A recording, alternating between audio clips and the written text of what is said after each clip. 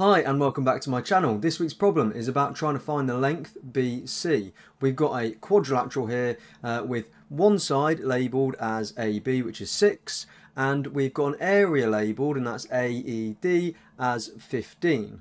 We've also got the angle BAC is equal to CAD.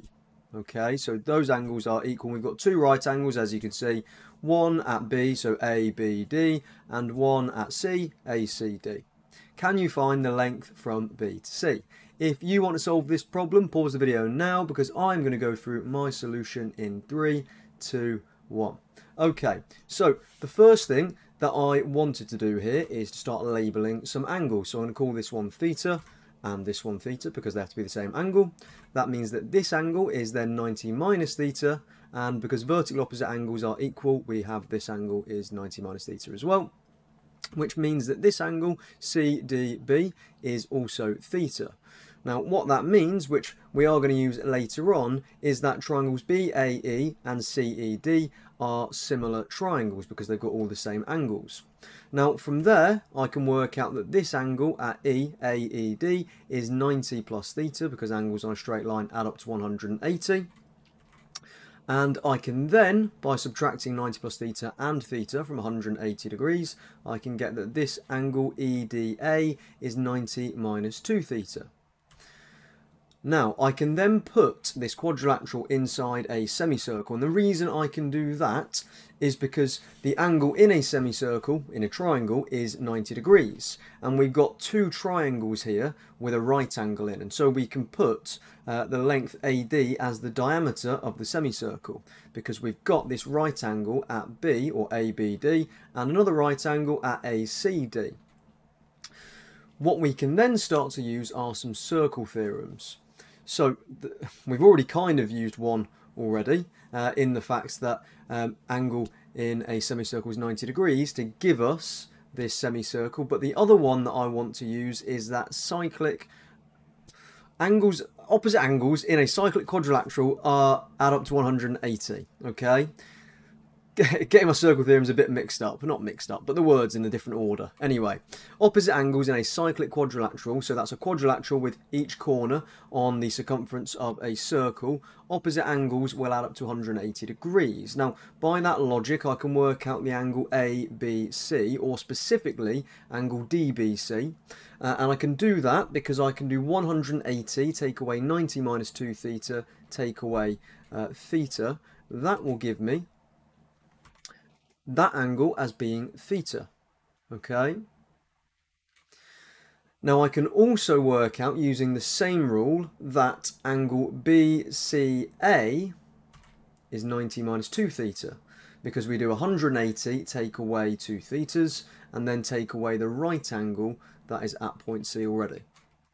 Okay, now from there what we can do is we know that these two sides, so B to C and C to D, are equal. And that's because triangle BDC is isosceles. We've got base angles that are equal, the thetas there, okay, at B and at D. Okay, next we're going to drop a perpendicular to side AD from the point E. Okay, so that obviously will meet AD at right angles. That's why we've done that. Okay, now we can start to work out a few things from there. We can work out those angles and 90 minus theta and 2 theta by working or, or subtracting the angles we've got in those two respective triangles uh, from 180. So subtracting the 90 and subtracting the theta from triangle AEF and subtracting 90 and 90 minus 2 theta from triangle EFD. Okay, now from there, if we look at triangles ABE and AEF, they have the same angles in them and they share a side, A to E.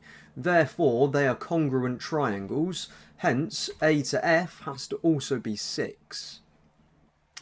Right, now I'm going to label E to F as H, and because we've got those two congruent triangles, B to E must also be H. Okay? Now the next thing from there is to start getting f to d. How can we work that out? Well, if we consider the triangle AED, so that full green shaded triangle, we know the area is 15 and you work out the area of a triangle by doing half the base times the height. So, double both sides, base times the height is 30, so that means the base is 30 divided by h. Now, if we subtract 6 from that, we'll get the length f to d, so 30 divided by h minus 6. Okay, so we're getting somewhere. We've got things in terms of h now, which is good. Now, the next thing I want to do is consider this triangle, so EFD, and this larger triangle ABD. Now both of those triangles have the same angles. They've both got 90 degrees, they've both got 2 theta, uh, and they've both got 90 minus 2 theta. Okay, so what that means is they are similar triangles. Obviously the ABD one, we're going to need to flip that slightly, but we can start looking at scale factors. And really, what I want to work out is this length here, E to D. I want to call that X at the moment. Okay, so let's separate these out. Here we go. And all the sides labelled as they should be. Now, I want to look at scale factors. So to go from H to 6, corresponding sides there, times by 6 over H. So if I use that same scale factor with e to d, going from e to d to a to d, x times by 6 over h gives me 30 over h. Now, something times by 6 gives me 30 is basically what that means. What do you times by 6 to get 30? You times 5 by 6 to get 30. So the length e to d has to be 5. That tells us that x is 5. So on the side length here, b to d, I can replace that x with 5. Okay, so that length is now h plus 5. Now, as you might want to do, or you might expect, I'm going to use uh, the scale factor once more for these sides at the bottom. So 30 over h minus 6 times by 6 over h gives us h plus 5.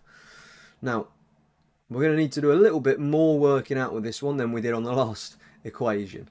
So, multiply through by 6 over h, we get this times everything now by h squared to get rid of our denominators and get everything onto one side so it's equal to 0, we get this cubic.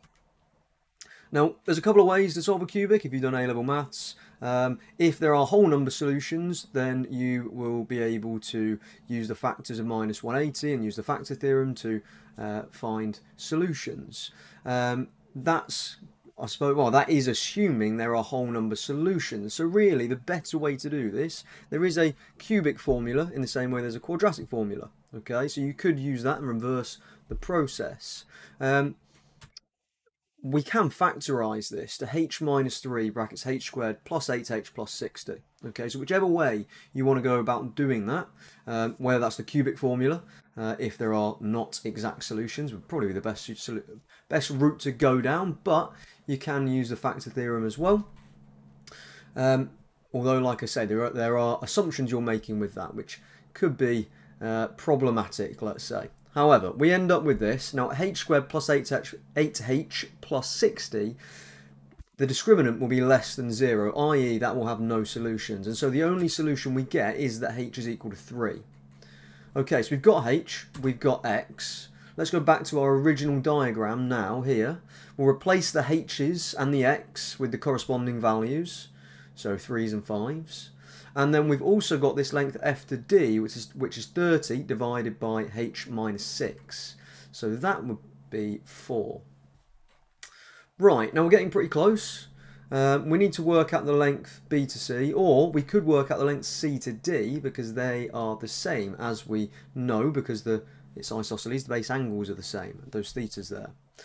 Okay, now the next thing we are going to do is we're going to start to work out A to E, and it's because of a reason we, well, I spoke about, not we spoke about, but I, I mentioned earlier, which we're going to come on to very shortly. But this length AE, we've got a 3, we've got a 6, work out the hypotenuse, square them, add them, square root it, gives us 3 root 5. Okay, so put that on our diagram. Now we've got this triangle ABE and this triangle ECD. They are similar triangles. I spoke about that earlier because all the angles in there are the same. So again, what we've got here, similar triangles, scale factors, and then we can work out that length C to D, which is going to be the length that we want. It's the same length as the length we want. So from 5 to 3 root 5, we would times that by 3 root 5 over 5. Divide by 5 times by 3 root 5. Now, that's going from the small shape to the bigger shape. If we want to go from the bigger shape to the small shape, we are going to divide by our scale factor, okay?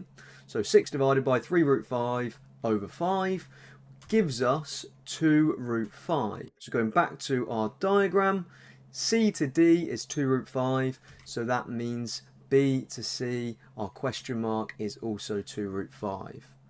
Okay, thank you very much for watching. It's a pretty neat answer, but I, I, thought at least a pretty complicated problem. Let me know if you felt it was an easy problem in the comments below. Let me know if you had a different solution. If you liked this video, please drop a like on the video. If you're not already, please subscribe to the channel. We're getting ever closer to a thousand subscribers, which is amazing. So thank you very much. Um, thank you for watching. Have a great week, everybody, and I will see you next week, 5 p.m. hopefully next week. A little bit after this week, but hopefully more like 5 p.m. next week. Back to normal. Have a great week. See you next time. Bye bye.